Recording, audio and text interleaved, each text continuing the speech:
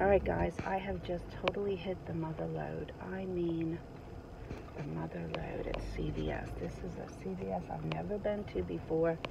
It's in like the next town down, uh, 40 minutes away from me. And oh my God, I gotta pull into this space real quick just so I can show you for a minute. Look.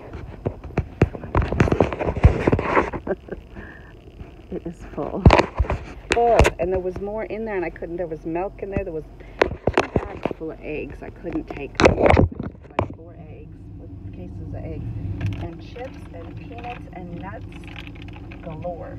I am like so excited. I've never found that, but I gotta go right now because this lady from CVS looking at me. So I'm going to go because she's looking. she's gathering carts and she's looking at me, and I have all this shit in my back seat. I didn't even Oh my god, too funny. Alright, let's go. what she figures out what I'm doing.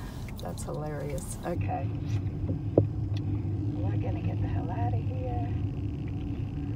She was gathering up carts and she happened to pull up next to me while I was telling you all that. That's funny. Alright, I gotta get out of Dodge here. So anyway, I see this CVS.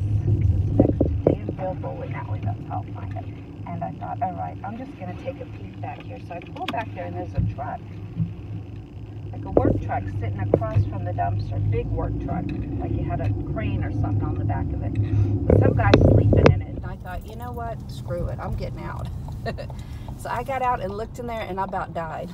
The whole thing was full of chips, and pretzels, and potato chips, and peanuts, and eggs, and milk. And I was like, I have never seen so much stuff in person in a dumpster. Like, holy crap. So I got half of it. There's a whole bunch more. There's bags and bags of eggs.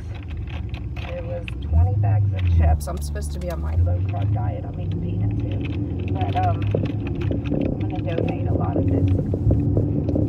But I'm just thrilled to get it. I'm so happy I found a CVS now that I can come to and check. So anyway, I'm going to go home and set it up and I'll show you what I got.